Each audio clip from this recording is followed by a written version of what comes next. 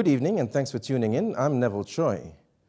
Tonight we look into what is a developing human resource crisis in the health sector. And Catholic Church-run Divine Word University is the only other higher learning institution outside of the University of Papua New Guinea offering a Bachelor of Medicine and Bachelor of Surgery or MBBS program. It's a program that trains students to become doctors. Divine Word University has taken a bold stand on its MBBS program to meet the country's need for more doctors. Divine Word's Dean of the Medicine and Health Sciences Faculty, Dr. Clement Malau, says Divine Word University is well aware of the urgent need for doctors. He spoke to our Tok Piksa journalist, Fabian Hakelitz, in Madang recently. We'll have his views on meeting this urgent doctor shortage a little later on in the show. But first, we take a look at the human resource capacity in the health sector. The question posed is do rural health services lack a sufficient workforce?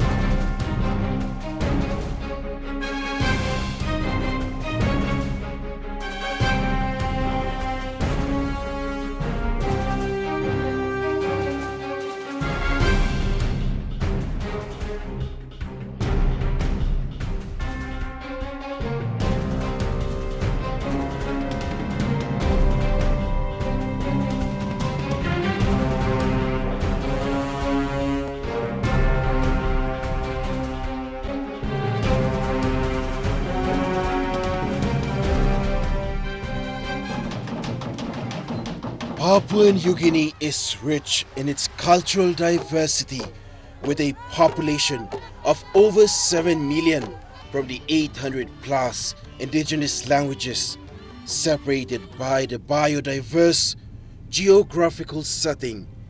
80% of the population live in rural areas with records showing some of the worst indicators of child maternal mortality rates and common communicable diseases like malaria and tuberculosis. These are indicators for primary healthcare services to be strengthened.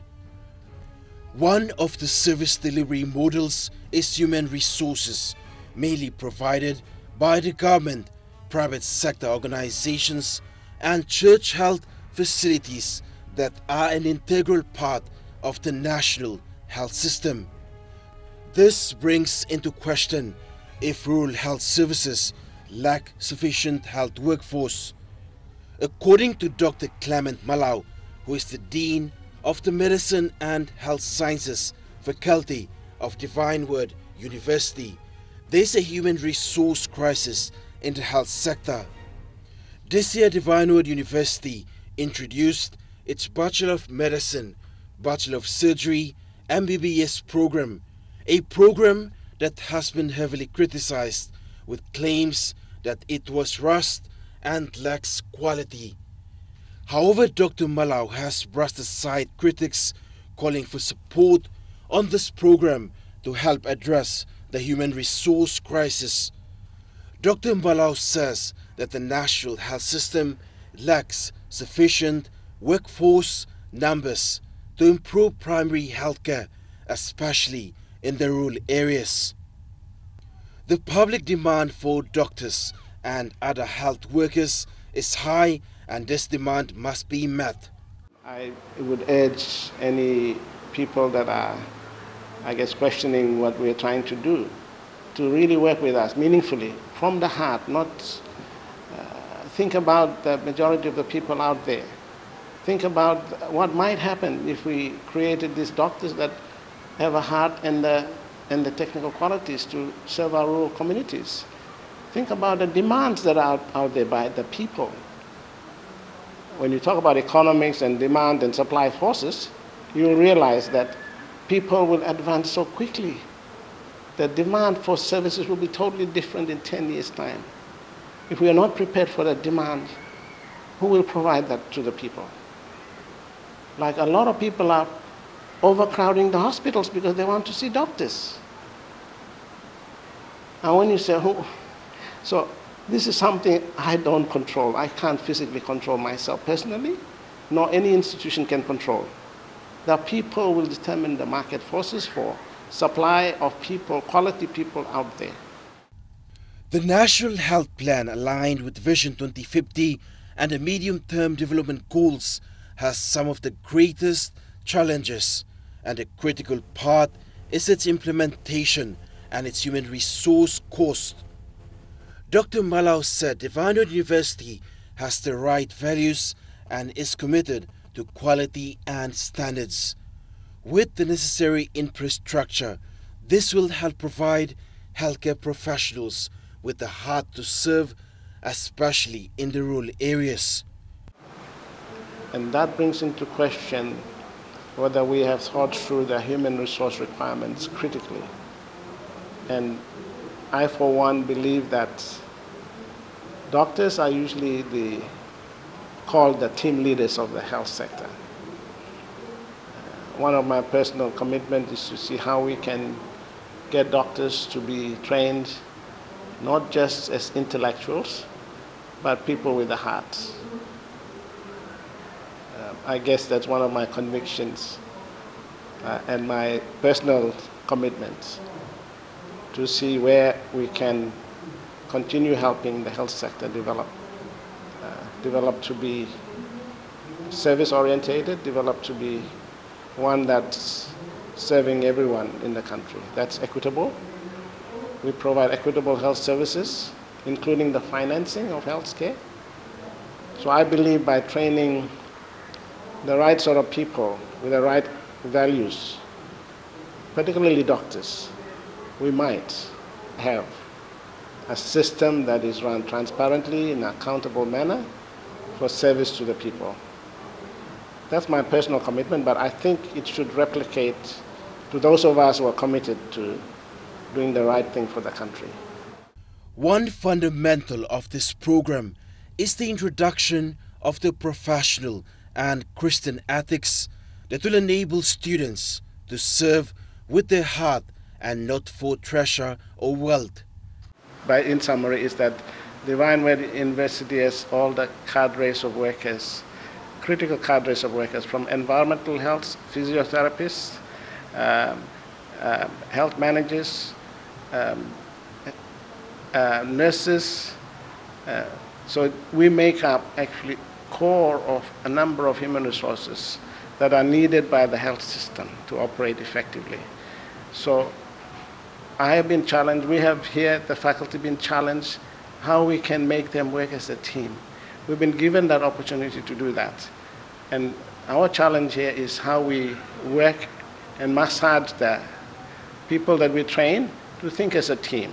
So when they get out of the, the of divine word, they're able to work and portray that uh, teamwork while they're working as workers uh, when they finish.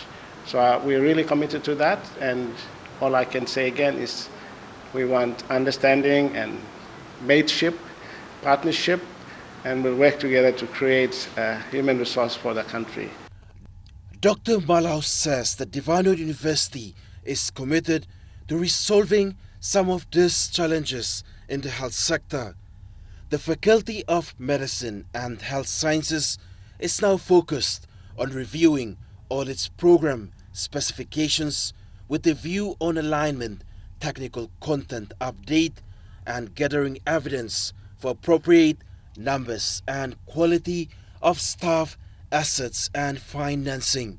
Hopefully, that will be finished by the end of the year. That is how the university and the University Council has committed themselves to ensure that we build the infrastructure that is right for a quality MBBS program. Um, so Beyond that, we also have done a number of other things that I believe which will lead to the quality. We are now having the PSDs reviewed for all the departments, and we believe the MBBS program, together with what, will, uh, what the program will bring, including all the specialist doctors, will add value to all the other programs we have. That includes the current health extension program, uh, physiotherapy program, um, the health management program to a certain extent, uh, the nursing program in Bonaparte, uh, the proposed nutrition program, if we come down to implementing that, um, the environmental health program. So we've got significant other programs that are MBBS program, together with all its specialist doctors, can help uplift the quality. The commitment now is to producing human resources with the right attitude and mindsets that they're able to provide quality healthcare to everyone in Papua New Guinea.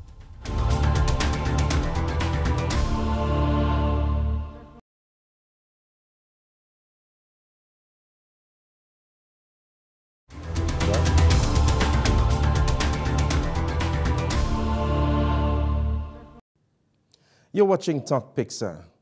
Divine Word University's Bachelor of Medicine and Bachelor of Surgery, or MBBS, is a five year program aimed to produce doctors with the commitment and clinical competency to serve the country's population. This is in response to inadequate health service delivery to the rural population that is challenged by a lack of doctors in the country.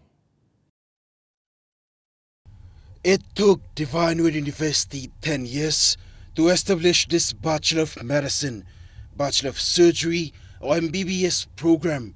According to Dr. Jerzy Kuzma, who is the medicine head of department, the MBBS program is a new approach to medical education that looks at implementing all current recommendations and interactive methods to place more responsibility in the students' learning process. This five-year program provides meaningful patient's experience, beginning with the foundation year of biomedical sciences and continues with the transition to clinical practice. Students who wish to undergo this training must have a GPA of 3.5.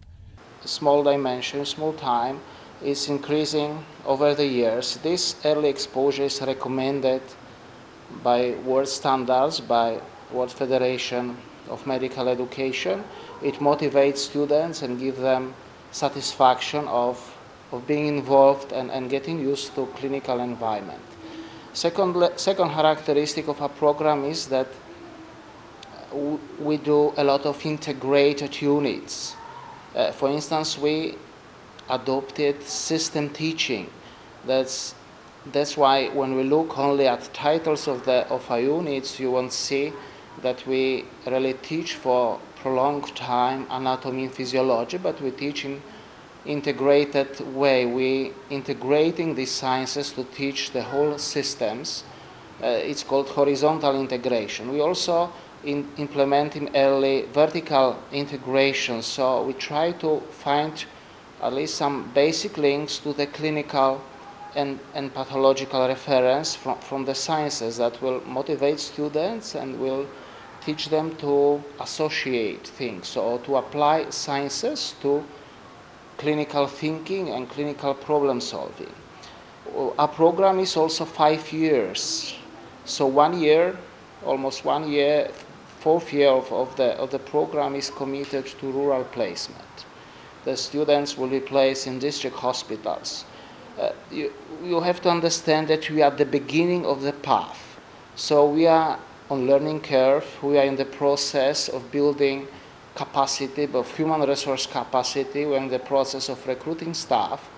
But I can assure you in terms of quality that for this year, we have all highly qualified teachers to, to, to provide this, to teach science units for this year. And gradually, we'll be recruiting other specialists, looking first for national market. And, and if, if, if uh, adequately qualified candidates could be found in, in, within the country. We look internationally. Divine University has affiliations and stakeholders like the National Health Department, Medical Board of PNG, and others, which include Italy's Federico II University School of Medicine, one of the oldest medical schools in the world, offering the MBBS program in line with World Federation for Medical Education Standards. The MBBS program prepares graduates who are competent and confident and accountable for the ethical and professional standards as health professionals.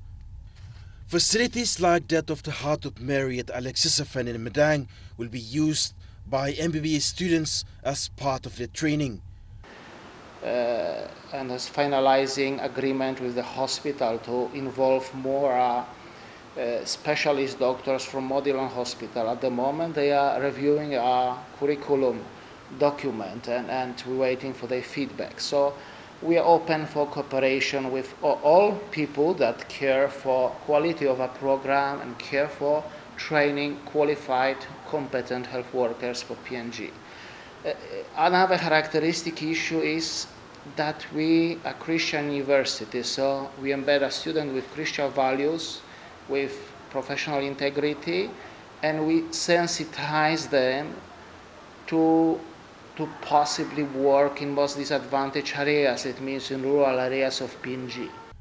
For Sister Maria Christina Lotsami as a health manageress, it's a great hope because with more doctors, this will improve basic primary health care. Yeah, from the side of uh, people here in the community, they have to agree and to be open for this uh, big uh, um, development that will come up and to also for the safety and well-being of the doctors coming in and for the development that will take place. I think the community need to be aware and they have to be supportive of this. And regarding fund, uh, government can help or the university is going to invest. That is, we are open and. Uh, the first batch of 29 students have been enrolled in the MBBS program. Kevin Sankey is one of the pioneers who, after his many years of working in the health sector, decided to join the program for he is very optimistic on the need for more doctors to serve in rural areas of the country. How do we reach out and cover that main, main purpose of, let's say, the national health purpose of providing the basic primary health to everybody? How do we cover that? basic. That's the question I will. And I'm appealing in that sense of a question that I have in heart that we need people and we need to work first. And we really need doctors to cover the population. And everything, you can have the facilities, you can have everything, but it's a human resource that we need. So I'm appealing to the, the country as a whole that this is uh, fortunate that we have another medical school in Divine Word. That it was a privilege studying at Divine University where values for holistic approach are taught that shapes a human person to be ethically considerable in life. We're giving a, a, an holistic approach that is covering everything that we lack. Most, most, most graduates that uh, go out and do this. You, you, talk about the skills. We have the basic facilities here. Probably the everything we in the facility side we have it there, and as well as the moral ethical side of it. The complete person should have an holistic approach this year.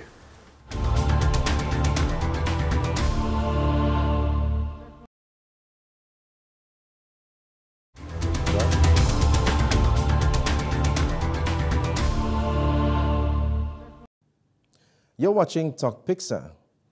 The National Health Department is supportive for the need to train more doctors in Papua New Guinea. Health Secretary Pascal Kase says the department will assist Divine Word University to ensure that its MBBS program is achievable. While there are still some processes to be completed for the program to fully function, Mr. Kase says that the critical need must be supported, and that is to move forward with training enough doctors for our people. According to the World Bank report, training capacity in Papua New Guinea has weakened considerably over the last 10 to 15 years. The ability to train more and more doctors has declined because of the less resources invested in training. Rural healthcare is especially threatened with high child maternal deaths because of the human resource crisis.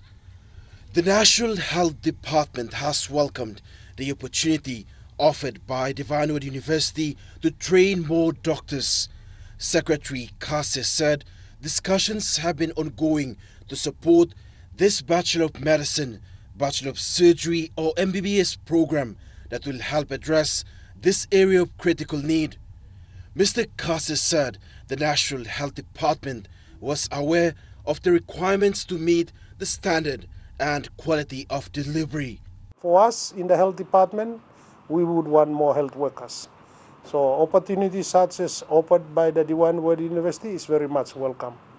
But uh, there are requirements for such institution that needs to be fulfilled in order to, uh, to establish such a, a, training institution.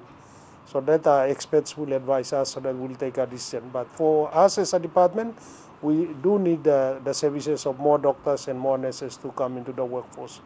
So uh, I think the, uh, there's a lot of potential for the, the, the institution that is being proposed by the Divine Word uh, University Management, and uh, we will be considering their proposal uh, next week on the 10th of, uh, on, of May. And then a decision will be made. But I understand that uh, the process has already begun at the Divine Word University for training of uh, uh, new uh, medical officers, young medical officers. However, with the 40 doctors graduating every year from the medical school of the University of Papua New Guinea, this figure is insufficient and still cannot cater for PNG's increasing population.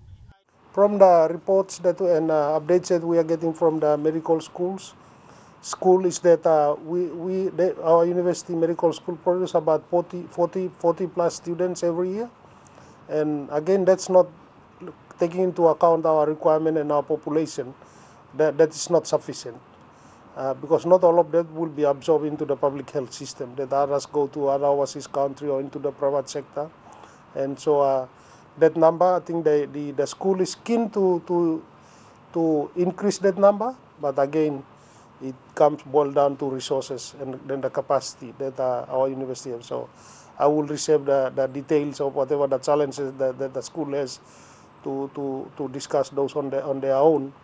But uh, as far as we are concerned, that we, we still need more numbers to be graduated by the school. Mr. Kase said the health department is aware of the issues faced by this higher learning institutions and will continue to assist them to improve capacity. There will be a submission that will be made by Divine Word University and then technical experts. We, are, we, we, will be inviting experts from even abroad to come and help the health department and the medical board to, uh, to make decisions. We know that establishing a new university, especially a school of medicine, is not an easy thing. It will cost a lot of money, but we won't expect uh, One World to put everything in place in the same year. It will take time before we build up the capacity. So we will be reasonable, not to expect too much, but at least some minimum requirements that has to be met in order for the school to start now and then over a period of five years, 10 years, 20 years, the school can be built up with other requirements that are, are so advised by the technical experts that we will be putting together. The workforce crisis in Papua New Guinea in terms of health service delivery has pushed the National Health Department to put in place a human resource workforce policy as part of the national government's direction. This is an urgent plan to address the critical workforce shortage. Immediate actions will be taken by the National Health Department and its partners to address the shortages. With the national government support, Kase says funds have been allocated to rehabilitate medical institutions. So one of the uh, factors is the workforce shortages. We can increase uh, schools or we can increase uh, medicines or others, but if we don't have workers, how do those medicines get admi administered to our patients? So that's why workforce is very important, and especially at this time when we have a policy on free health care, our people would very much be attending to health services. But are there workers there to attend to the needs of our people? There are health workers, but not in sufficient in numbers. That people will people have to wait in queues because of our insufficient numbers. So, but ideally, we, with uh, our population, we need more than uh, what we have at the moment. To acknowledge that there are different ways, different methods of providing medical educations. And even World Federation for Medical Education doesn't specify particular methods to be chosen. They accept all methods, the standards about something well, how well we implement how, how well we do a teaching, how much our students learn, how, how, what, what capacities and skills they get, and it can be achieved with different methods. Uh, so I also appeal for open, open-mindedness of, of those who criticize something that is new. Th that's true, what I mentioned. We are at the beginning of the path. We are building capacity. We don't have all human resources or infrastructure in place yet. But we have planned for that, and we are actively working to implement this plan and to make sure that our graduates have required capacity both for PNG standard and they have some global standards, some international standard, basic standard, medical standards, that they would be able to work both in PNG, even in, in internationally. And that's all we have for you tonight on Tok Piksa. We hope you enjoyed the program. Until we do this again next Sunday, I'm Neville Choi. Good night.